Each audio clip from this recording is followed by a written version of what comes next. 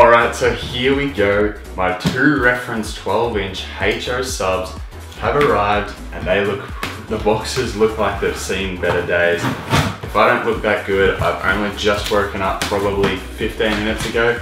Seen these, look at that, it's not even in there. Seen these straight away had to make the video. I don't look very pretty at the moment, so I apologize for that. But here we go, my new subs have arrived. Jesus, that is heavy. All right, let's get the second one out. All the boxes and stuff to the side without hitting my tripod. that it barely even sealed properly now. I actually would have thought Parts Express would have put a little bit more effort into the packaging, but that's just what I personally thought. My other stuff from Dayton, when that, oh, when that arrived, had a bit better packaging on it, but that's okay. As long as they're not broken. So here it is. The reference HO 12 inch sub. Oh my god, the motor on the back of this thing is huge. Oh, these subs look nice. Ooh, they are stiff too. Wow, what a nice looking sub. I'm just checking for any shipping damaging at the moment. So that's the first thing you should do when you get a new sub is just check over it, make sure there's no visible damage, and then uh, test it out, make sure everything. So this one here is the one that wasn't packaged great. So I'll just quickly give this one a quick check over. Judging, oh wow. I put my spare camera battery to the side and it managed to make its way into that bag. Again, nice and stiff. Doesn't feel to be any like coil rub, so the magnets aren't off center. We've got what looks to be no damage on this one. Judging by the build, I don't think you'd be able to break these very easily at all. But here are the two new HO 12 inch subs of mine. Oh man, these things look nice and they are so stiff. So now I'm gonna start hooking them up to this CV2800 just here. And then once I do that, I'll start breaking them in and uh, I'll put a little bit of excursion in this video but I will make a dedicated how to break in your subs video. So if you guys wanna see that, chuck a like on this video, subscribe to my channel if you haven't already, and comment down below how keen you are to see these subwoofers playing real low frequencies, because these things, oh my god, they look so nice. Anyway, with that being said, hope you guys have enjoyed, it and I'll catch you guys in uh, the next video, but it's not gonna end here. I don't know why I was outroing it. I'm gonna show some excursion of these things and then we'll call it quits on this video. Alright, so now I'm just gonna quickly test both the coils on each subwoofer just to test that they are both working and that they're definitely not damaged in any way and the coils aren't hurt or anything. So I'm gonna start with this one and start with this coil just here. I'm gonna crank my CV2800 up right now. Uh, let's hook this up and uh, let's see which one's positive and negative. Okay. So definitely not how you do it with alligator plugs, but it's the only way I could extend the thing from over there, which is where I have it set up. Uh, so when I can install actual sub boxes, I'll have just the right amount of wire. But uh, anyway, I can feel it's moving. Let's give it a little bit of power and see how this thing handles.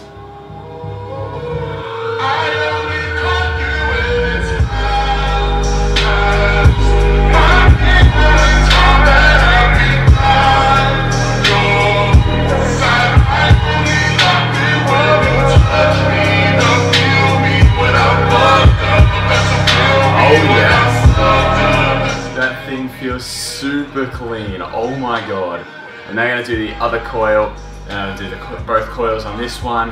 I'll cut back once I've done that and I'll tell you if they're working and I'll start blaring some music through these things.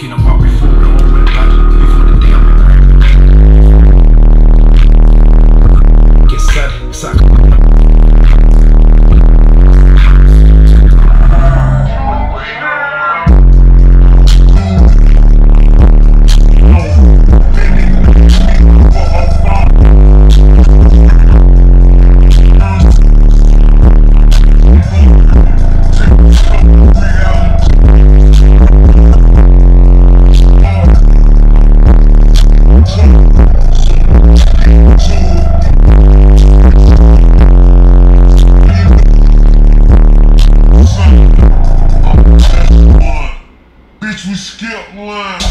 I remember reminiscing in the kitchen like, I wonder when them Braves gon' win. I wonder when them Falcons gon' get here.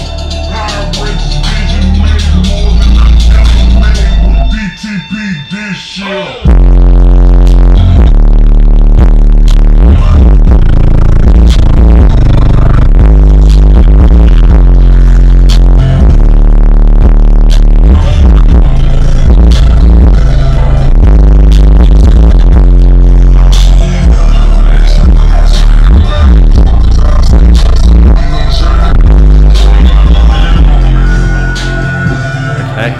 There it is, my two new subwoofers, the Dayton Reference Series HO dual voice coils, 700 watts RMS a pop. Uh, there it is, there's my first initial video and some excursion playing through these things. I hope you guys understand how hard it is to capture excursion on a camera. It's just impossible, especially when I'm like up close like I was. It kept putting it out of uh, focus. So by the end, I was just trying to autofocus, which is kind of hard without focus peaking. So sorry about the focus, but you still got a rough estimate as to the excursion. Holy crap, these things move. And I haven't broken them in one bit yet, so I wasn't pushing them super duper hard. If you want to see the video about me breaking subs in, I'm going to start shooting that today as well.